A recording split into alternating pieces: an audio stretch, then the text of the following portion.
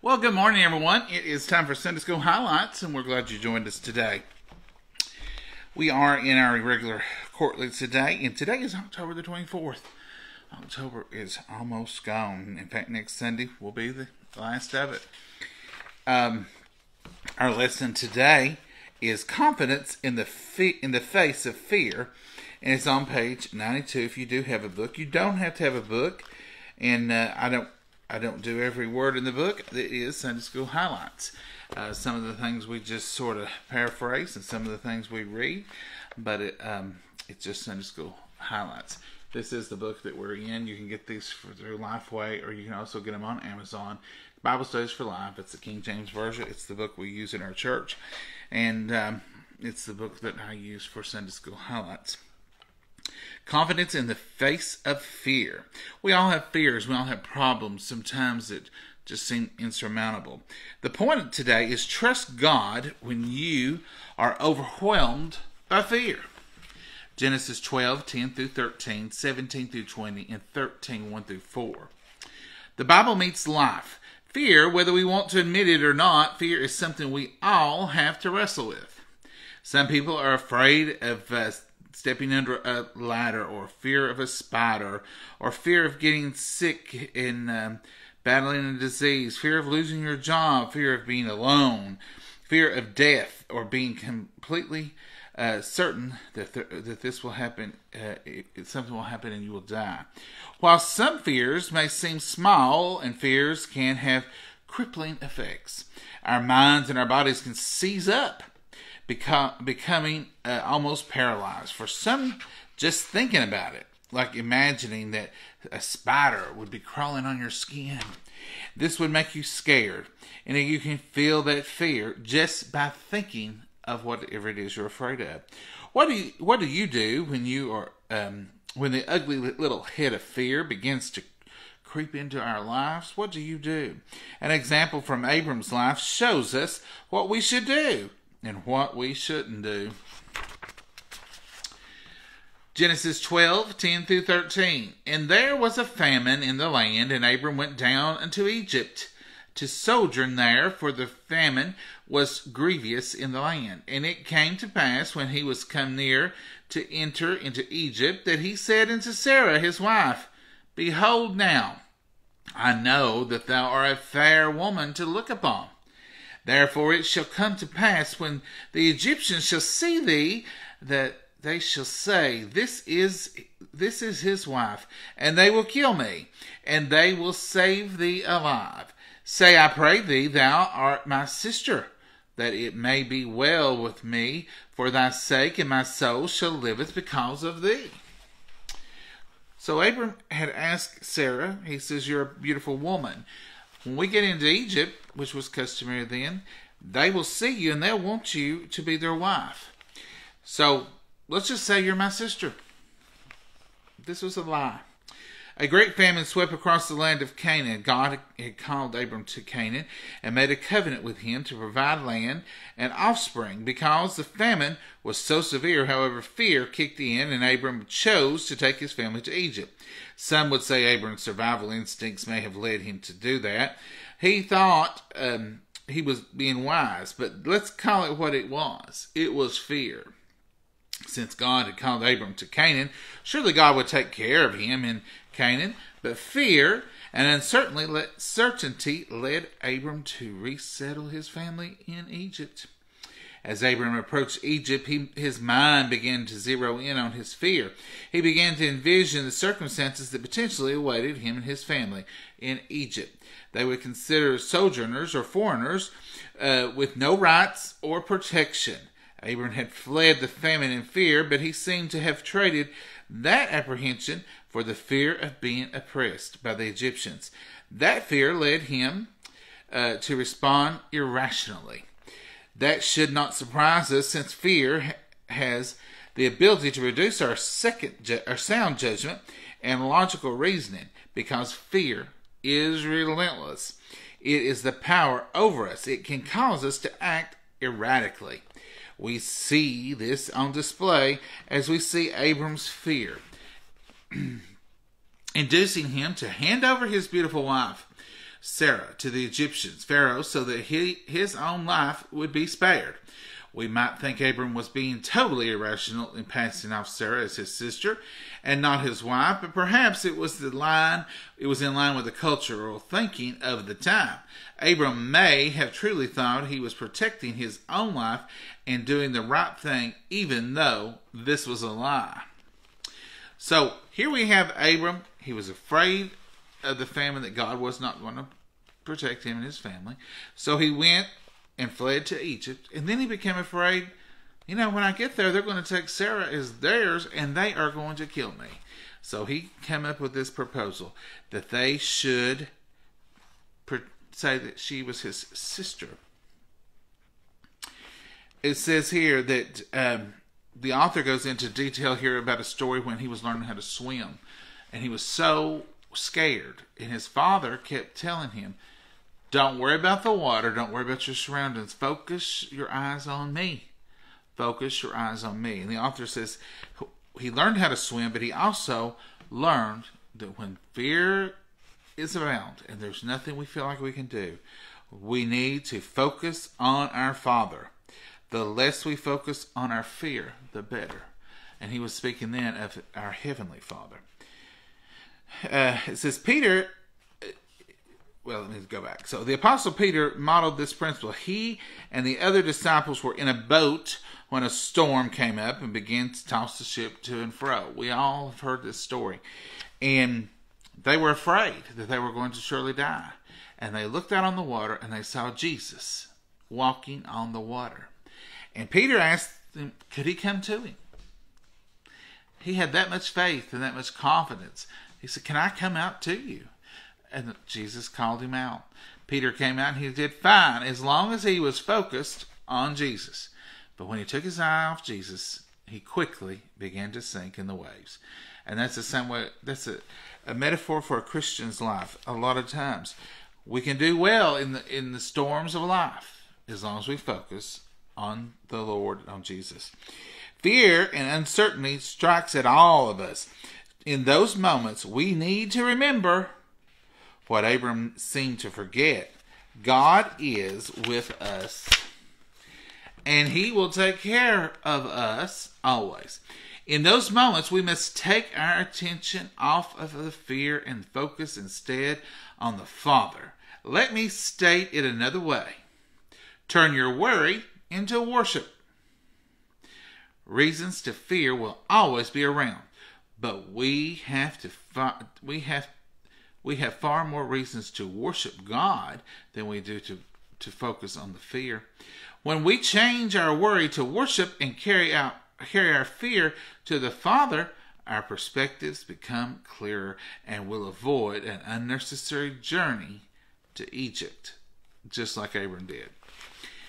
So, Genesis 12, 17 through 20. What are some situations that can cause us to fear instead of trusting God? Let's see what Genesis 12, 17 through 20 says.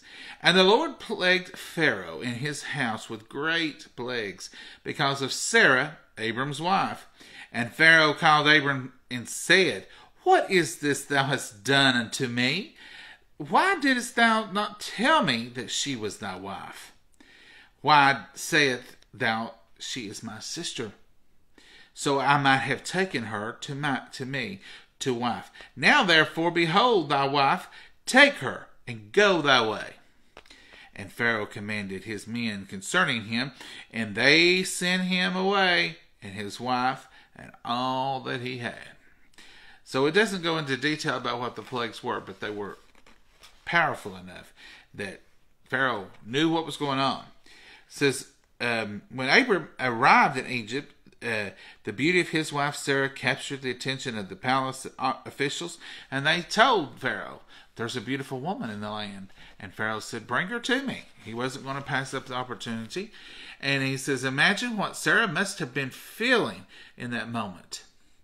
The, the text, the Bible does not is silent regarding any response from Sarah, but she surely must have felt betrayed by her husband and confused and hurt, and she must have had fear.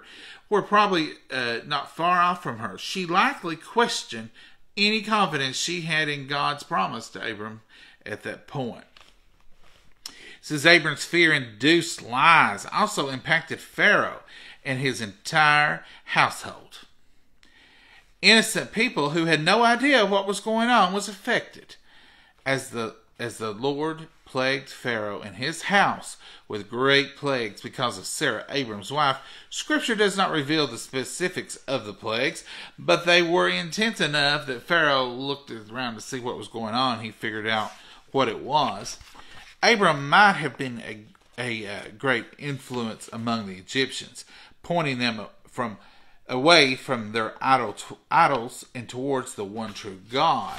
But the opportunity for Abram to exercise any leadership was being dismantled by his fear and his lack of his faith. The level of our fear and faith today can have a ripple effect on others, uh, either for good or for bad. Fear and faith are both highly contagious. When chaos and trouble strikes, or when we have the opportunity to, to lead or influence others, we should consider how our attitudes and our actions will impact them. Am I spreading fear or encouraging faith? Sometimes we don't see, or we may not even think that what we do affects anybody. It's just me. I'll make my own decisions. I'll do what I want to do. It's my business. Well, sometimes our business ripples into other people's business. And our actions will cause problems for other people. So we have to always consider that. Uh, am I spreading fear or am I encouraging faith? How does the enemy use fear to uh, to wreak havoc on our lives? Genesis 13, 1 through 4. And Abram went into uh, and went up out of Egypt, he and his wife and all he, he had had, and Lot with him into the south. And Abram was very rich in cattle and silver and in gold, and he went on his journeys from the south even to Bethel, unto the place where he had, had his tent and had been at the beginning between Bethel and, and unto the place of the altar which he had make there at the first, and there Abram called on the name of the Lord. What do we see happening here? Abram strayed from the will of God, and he had to go back to his altar. Sometimes we have to go back to the altar, don't we? Sometimes we have to go daily. Sometimes we can go a few days, but we always have to go back to that altar and renew our faith and our confidence in God and let God know we did wrong and we're back on track and we're back in faith. And thank God for His mercy and His grace. After Pharaoh gave his orders to leave and get out of Egypt, Abram took Sarah, his family, and all he possessed, and he started the journey back into Canaan. When Abram heard the words from Pharaoh to go, he might have recalled God's promise when he said to him, Get thee out of thy country, Genesis 12 1. Abram seemed to forget God's promise when he felt threatened, but that truth, uh, but, but that's true for most of us. We quickly forget or doubt God's promise and call on, calling on our lives in fearful circumstances. How many times do we do just what Abram done? Something comes up, it's fearful, we don't understand it, we don't uh, necessarily know why, and we flee. We flee to Egypt, just like Abram did. We go in the opposite direction of where God wants us to be, just because we have fear. And then we forget all the wonderful times and all the blessings that He has given us. After we fail, it can be so easy to wallow in our failure here's the turnaround. Here's the, the point where we failed, but we have a merciful God. After we fail, it is so easy to wallow in our failure and to stop moving and allowing God to move in us. Abram did not stop, nor did he leave his faith in Egypt. He moved back to where he came from, the place where he knew and worshiped God. The enemy loves to grab a shovel and bury us with the, with the guilt of our past failures. How many times do you feel like you've been buried with the guilt of your past failures? It just won't leave you alone. You will not let it go. You let it stop you from doing things in the future. You let it stop you from moving forward. It says we must keep on moving so the dirt of the guilt doesn't cover us. And we must keep moving toward the one who loves us, um, the one who loves us, even ever in faithful and is ever faithful to us. We must return to Christ, remembering this wonderful truth. There is therefore no, now no condemnation to them which are in Christ. Romans 8 1. Abram went back to where he first built his altar. There Abram called on the name of the Lord. Perhaps Abram retracted his steps back to that place to show humility, to express remorse for his misconduct, to renew his alliance, to remind himself of the original promise, to show his gratitude for God, for God's mercy, or his combination of all these things. The important thing is that he understood who he was and who God is. Abram's act of worship reflects his recognition of the incredible mercy God granted to him instead of the incredible judgment he could have received. While he recognized that fear reduces our faith and confidence um, in the Lord, one form of fear actually strengthens our faith in His and his fear we must increase, not decrease, in our lives. A healthy, reverent fear of the Lord. And the fear of the Lord is strong uh, confidence, and it increases our confidence. Proverbs fourteen twenty six. The more we deepen our reverent fear of God, the more our faith and trust in His mercy grows as we truly understand the depth of God's magnificent power and holiness the more confident we become and we are overwhelmed by the heights of his uh, undeserving mercy that, we, that he offers to all. So we have to have a healthy fear of God. We have to fear his judgment. We have to fear the fact that he offers us mercy and grace because he wants to. Uh, Abram deserved judgment, just like we deserve judgment, but God gave him mercy and grace he did not deserve those things. He strayed from God. But Abram went back to his altar, back to that altar, to renew his faith, to renew his confidence, to renew his determined ability to do what God asked him to do. We all have to go back to our altar from time to time. Live it out. We are to trust God when we are overwhelmed with fear. Reflect. Be honest. Take some time and ask yourself how your level of faith and level of fear have been affecting you and those around you. So be honest. Determine am I letting fear or am I uh, fear show in my life or am I letting faith show in my life? Confess. Take a quick break and self evaluate if there are any half truths that you may have covered up in due to fear. Confess it today. Half truths are the same as whole lies. Uh, so don't let things like that cover up so you cannot fully worship and fully serve God.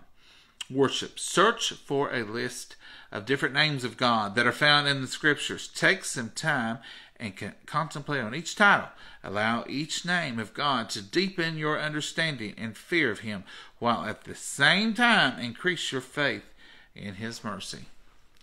So here we see where Abram was a man of God and he had went and he had trusted and believed in God, but he strayed. He went back on God. He done things that weren't according to God's will. But he came back. He came back to the altar. And then he didn't let those things dictate his future. He didn't let those things direct his future. He kept moving, kept going forward. And uh, we can't, when we do wrong, or we fall out of the will of God, we can't let that be our guiding force, or we can't keep bringing that up in our lives. We have to take it as a lesson, take it as an experience, and move forward, move on. Keep moving forward in the promise of God. That's our story or our lesson today, folks, and uh, it was a good one, and I hope you enjoyed it. And I just thank you for being with us. And as we always say, we always mean it. Y'all pray for us, and we'll pray for you. Thank you, and have a great day today. Bye.